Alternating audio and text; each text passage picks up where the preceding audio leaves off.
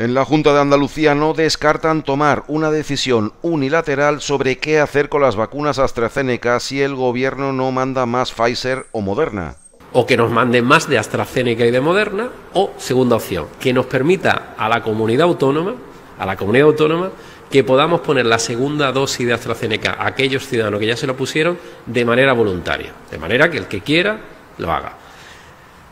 Yo aviso al gobierno o toma una decisión rápida o la tomaremos nosotros. Ellos sabrán, o la toman ellos o la tomamos nosotros, pero yo no voy a permitir que haya decenas de miles de vacunas estancadas Moreno Bonilla ha pasado por el Hospital Costa del Sol y se ha mostrado preocupado por los efectos del fin del estado de alarma y, por ejemplo, que abra el ocio nocturno o se acabe el toque de queda. Todos los días mueren ciudadanos andaluces como consecuencia del COVID, todos los días se infectan ciudadanos como consecuencia del COVID, todos los días se ingresan personas en los hospitales como consecuencia del COVID y todos los días hay personas en la UCI rompiéndose la cabeza y temiendo lo peor para su vida.